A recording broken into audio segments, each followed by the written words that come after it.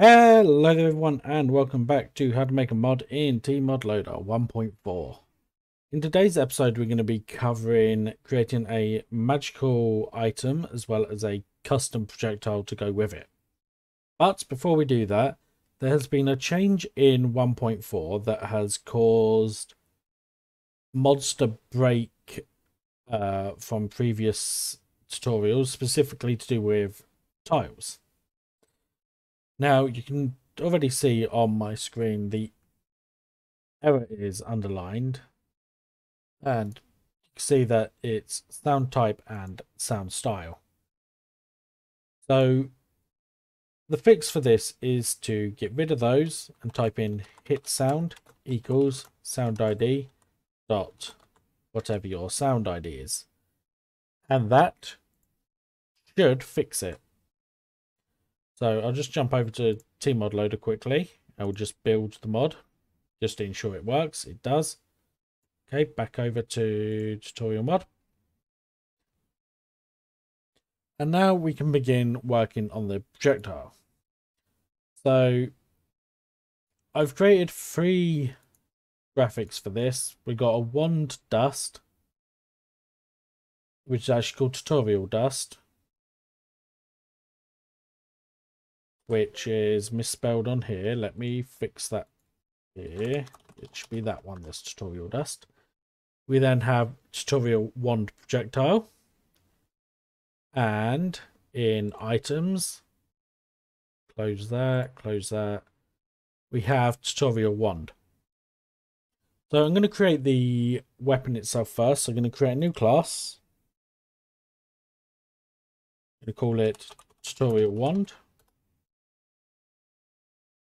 the code you want here.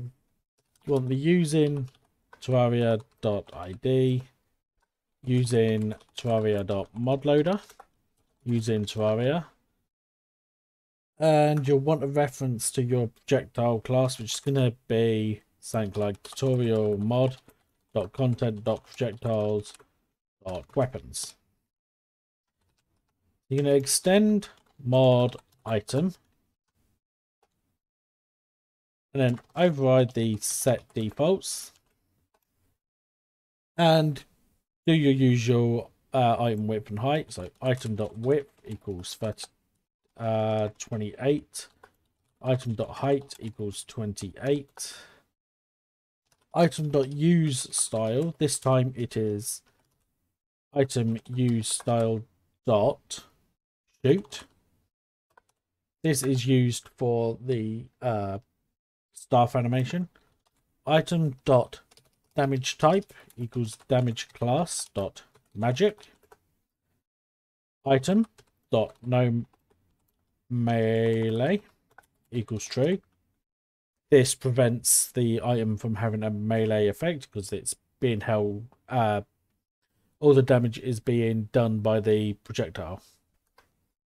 Then item dot mana I'm going to put at eight this is how many MP points it's going to cost to use the item. If you don't have enough MP, it will not work. Item dot damage, I'm going to do 24. Item dot knockback, I'm going to do 3.2F. For use time and animation, I'm going to do item dot use time equals 15. Item dot use animation equals 20. Going to make the... Uh, nope, sorry, got those wrong way around. Item.use time is 20, animation is 15. You want the use animation to be either equal to or less than use time, otherwise the projectile will be made twice. Item dot use sound. I'm going to use sound ID dot item 71 and then you do item dot shoot equals mod content dot projectile type. And then it's going to be the name of your uh, projectile which we haven't created yet but we will. And then item dot shoot speed. I'm going to set this to 1f because of the way I'm doing the projectile So you can also add in the uh, static defaults and the add recipe, but I'll leave that for now because I've covered those before. So let's go into our projectiles folder, weapons, and we're going to create our new projectile, which is tutorial wand projectile.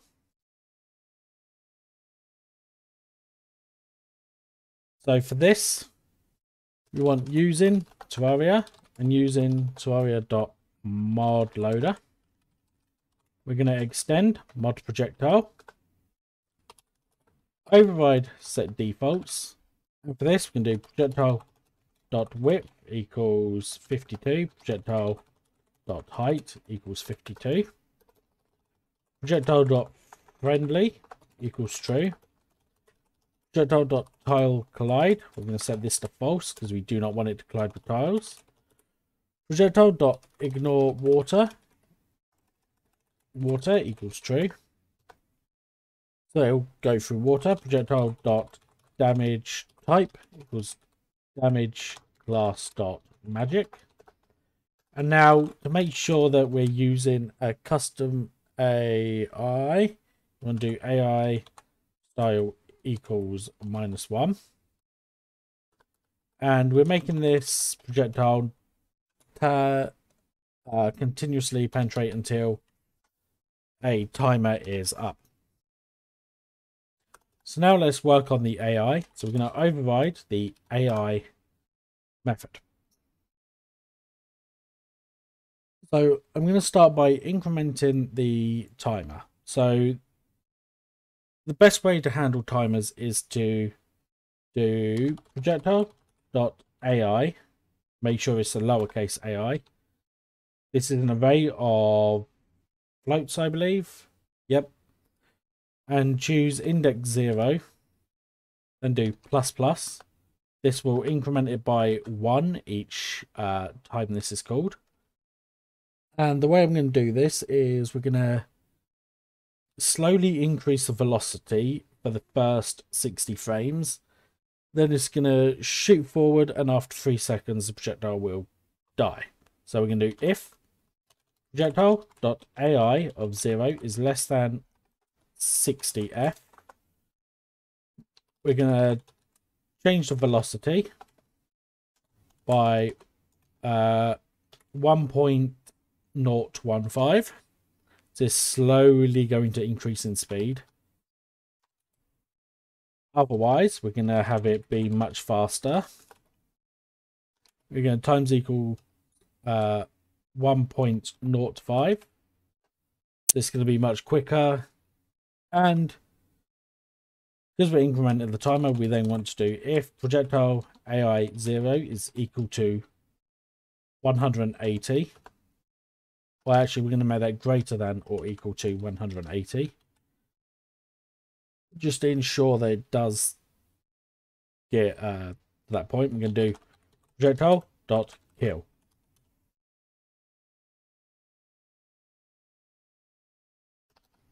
Now we're going to handle the rotation speed. So I'm going to do float rotate speed equals 0.35f multiplied by, and we're going to cast this as a float projectile dot direction. So depending on the direction we're facing, will determine the rotation speed. So this will either be plus or minus 0.35.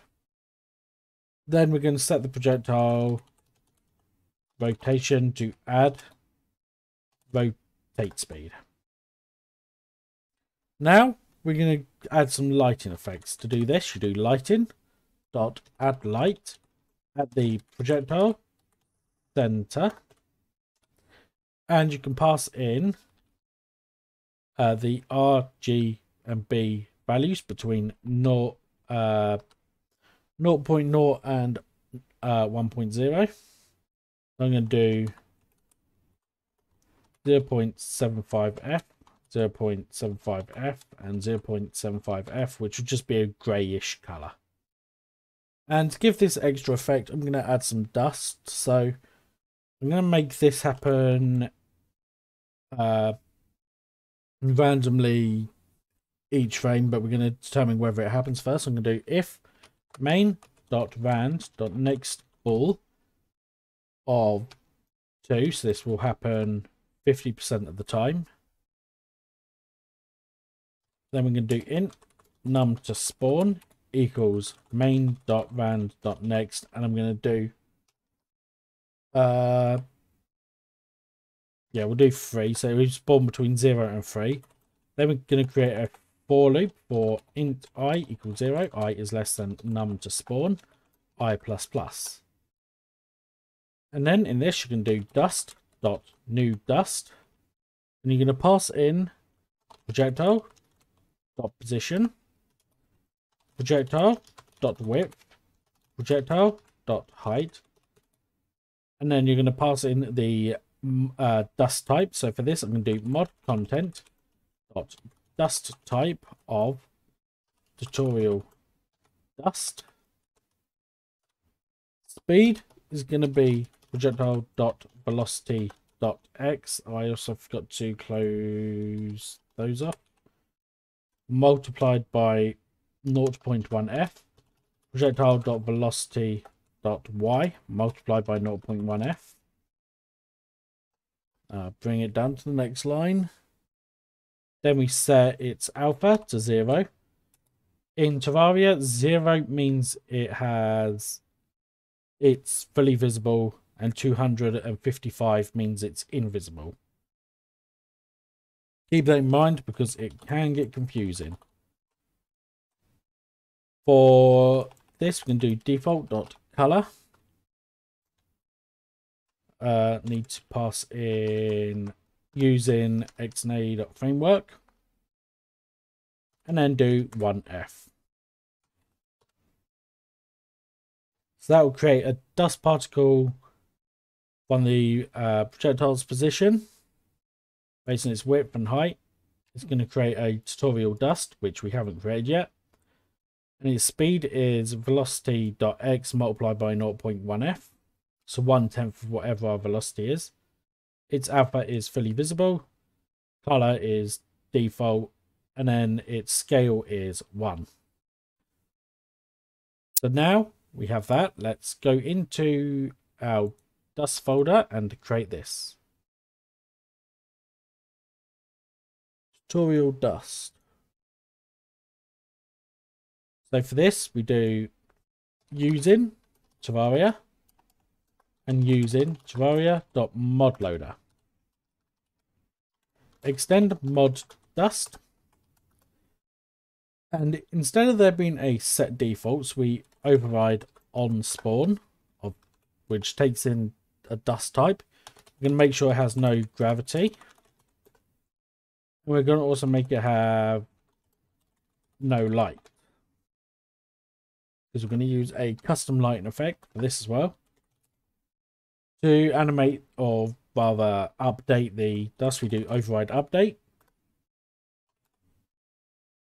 we're going to do dust dot position plus equals dust dot velocity dust dot rotation plus equals and we're going to rotate it based on its x velocity multiplied by 0.15f. Dust dot scale, we're going to slowly decrease in size by doing 0.99f. If dust dot scale is less than 0.3, we're going to do dust dot active equals false And now we're going to add in a lighting effect of our own. Lighting dot add light of dust dot position. And like before, we're going to pass in the RGB values. Then finally do return false. This is all custom. So save all that and head on over to Terraria. So I'm going to build and reload the tutorial mod. And we have an issue, could not be found. That's right. we need to go over to here and include the reference to the dust type. So back over to Terraria.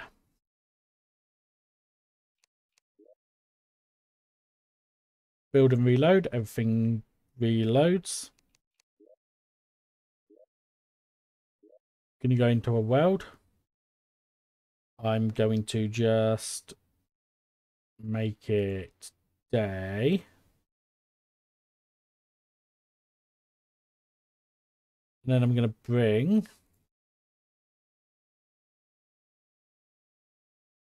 how where is it? Tutorial wand. And we have an enemy over here. So you can see we have a projectile that's spinning, creates dust.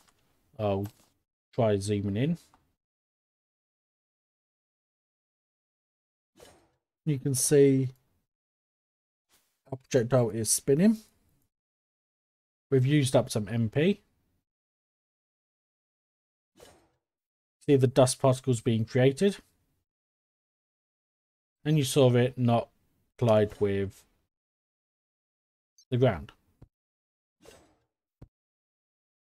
Its velocity starts off slow and then increases very quickly.